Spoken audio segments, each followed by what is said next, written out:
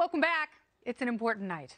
Kind of. It is. Come on. Let's talk about you and whether, if you can't bear to jump on the Trump train and the thought of riding with Biden gives you slow motion sickness, our next guest has a ticket to ride just for you. Liberty lovers can fly above the fray on the Jo Jorgensen jetliner. The Libertarian presidential candidate is on the ballot in all 50 states. And spoiler alert, she's not just a spoiler. Let me bring her in, party people. Here she is. Jo Jorgensen, welcome back, Jo. Hey, so glad to be here.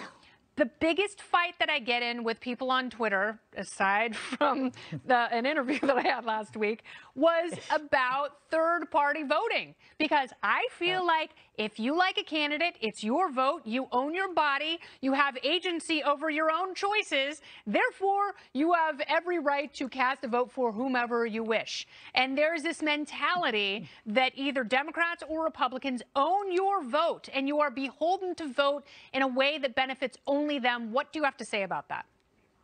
Oh, you're so right, Kennedy. It is so entrenched. I can't tell you how many radio shows and podcasts I've been on where the interviewer will ask me, so who do you take the most votes from, Democrats or Republicans? And, you know, I, I first want to say, well, wait a minute. I'm not taking votes away from anybody. Those are their votes. They own those votes and they have the choice. But that just gets back down to the false binary, you know, system that we have. Of course, we have to have a system in which the Democrats and Republicans have to pretend to be at odds with each other other, mm-hmm. have to pretend to have completely different platforms, even though they both want to spend our money, they both want to control our lives. Neither one is going to bring the troops home. So they got to create drama somehow. And that's absolutely right. And that's the biggest issue for me. And that's how I decide who I'm going to vote for, at least right now, uh, particularly having school age children, is who is spending the most money uh, without a mm-hmm. plan mm-hmm. and how are we going to pay for it in the future? And we're not going to. Uh, China is going to owe our own, rather, our debt. And that to me is much more morally reprehensible than the idea that my vote belongs to somebody else. Now, do you talk to Howie Hawkins at all? He is the Green Party presidential candidate. You know, I sat next to him in a debate last March, a third party debate, and that, that's been it. Uh, Ralph Nader, who ran um, mm-hmm. as he what, what, what party was he? Was he a Green Partier in 2000? I was on a speaking tour with him and Winona LaDuke, who was his vice presidential candidate, his nominee. Um, he said that this is a horrible year for third party candidates. And uh, Marquette University law professor said that's because when Democrats lose, as they did in 2000, uh, when they win the popular vote but lose the electoral vote, the next election cycle, four years later, third party support drops. Is there any way of mm. lifting that back up again? Well, I hope so. And, you know, I have the advantage this year in that last time Donald Trump ran as a Republican, but he ran as an outsider. And he said, look, I'm not a professional politician. I'm a businessman. I know how to balance a budget. I know how to cut spending. And, oh, by the way, I'm going to bring the troops home.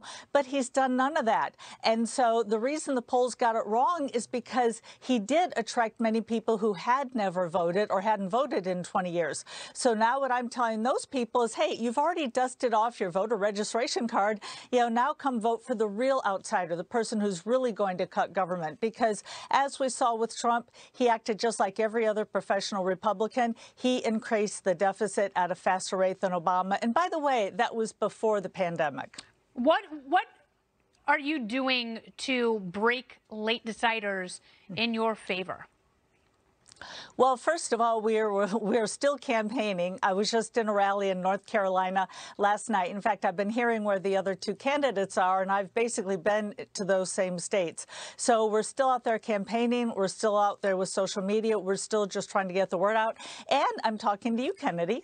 That's right. Have you talked to Gary Johnson at all? He was the uh, Libertarian nominee in 2012 and 2016, former governor of New Mexico. Where's Aleppo? Yeah.